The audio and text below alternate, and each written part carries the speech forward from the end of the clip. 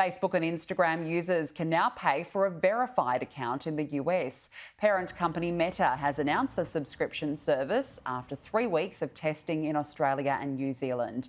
Users will be able to use a government ID to get a blue badge. The service will cost the equivalent to $18 per month on the web and around $22 on Apple and Android.